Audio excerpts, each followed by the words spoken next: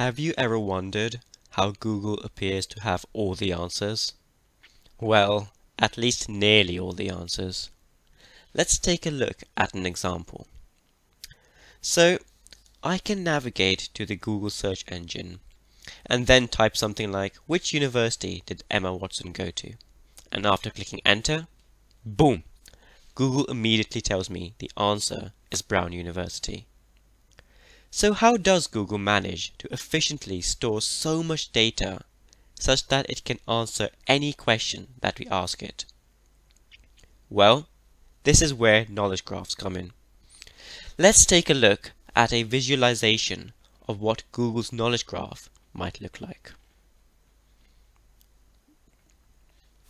Everything that we can think of a detail can be represented as a node in a graph. From now on, I will refer to each piece of detail with the word entity. So for example, Emma Watson will be an example of a node in the graph as Emma Watson is an entity. Similarly, Brown University is an example of another piece of detail, i.e. entity, and hence will also be a node in the knowledge graph. As there is a direct relationship between Emma Watson and Brown University, the knowledge graph will have an arc connecting the Emma Watson node with the Brown University node. It is easy to expand the knowledge graph such that all directly related nodes are connected to each other uh, with these green arcs. In this way, Google's knowledge graph will have billions of different nodes with billions of arcs connecting different nodes. We can think of the depiction of the knowledge graph here as a super zoomed in part of Google's knowledge graph. So the construct of a knowledge graph is very useful as it clearly outlines the relationships between different pieces of facts. Therefore, when we query Google with some question, it is easy to find the answer by just traversing the knowledge graph in the locality of the mentioned entity in the question. But we haven't discussed the tricky part yet. How has Google managed to build this knowledge graph in the first place?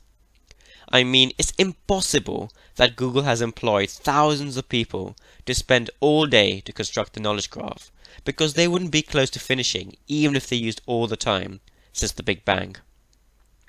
The key idea is that Google has some automated approaches that can build a knowledge graph by just reading natural language articles such as Wikipedia. So by reading millions of documents on the web, Google can automatically extract all the facts mentioned and also the relationships between them to construct its knowledge graph. Let's take a look at an example sentence to see how automated approaches could be used to go about building a knowledge graph.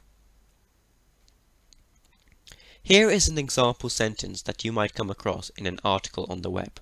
It simply says, for her undergraduate degree, Emma Watson studied at Brown University. To give a brief English lesson, Emma Watson in this sentence is called the subject of the sentence, while Brown University is the object of the sentence. Generally speaking, the subject of a sentence does something to the object of the sentence. Usually, the verb connecting the subject and the object is called the predicate of the sentence, which we can interpret as the relationship between the subject and object. To be consistent with the language we have been using so far, the subject and object are the entities in this sentence. So the aim of identifying the subject, predicate, and the object in a sentence is a very common NLP task called triplet extraction, where of course the triple refers to the subject, predicate, and object. There are excellent automatic triplet extractors available that when given a passage of text, they tell you all the triples present. The task of triplet extraction falls into the general area of information extraction. Do note that the predicate is not necessarily an extract from the sentence, but could be a selected relationship between a list of acceptable relationships from a certain context. Here we will focus on open information extraction, where the relationship is not constrained to belong to any such list, and instead is typically just an extract of the input sentence. So, By using a triplet extractor, we can represent the triple in a sentence visually by representing each entity as a node and the relationship as an arc between the nodes. Now, if later in some article we come across the sentence, Brown University is one of many colleges in the Ivy League, the automatic triplet extractor can be applied on this sentence too.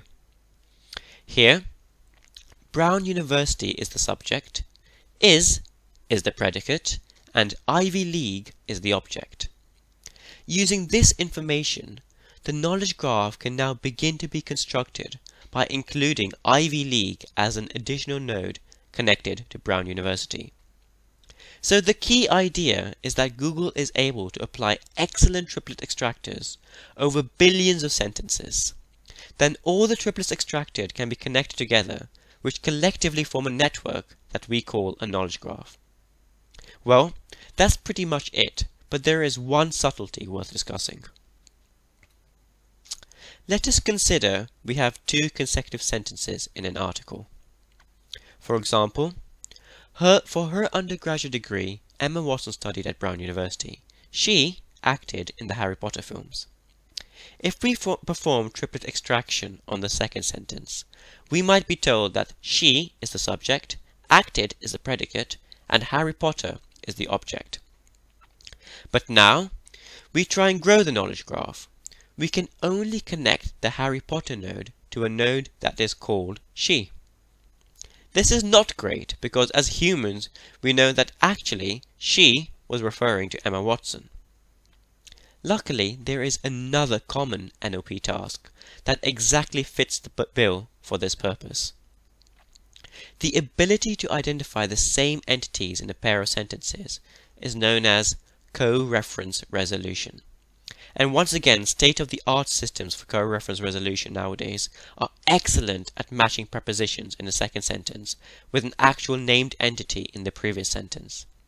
Thus, the she node and the Emma Watson node can be merged in our knowledge graph using co-reference resolution.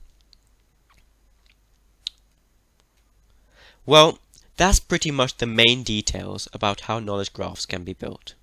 To summarize, an automated system reads text from millions of documents, and then by using triplet extraction and co-reference resolutions models on each sentence, a knowledge graph is constructed. If you're interested, do check out how triplet extractors and co-reference resolution systems based on neural networks are designed.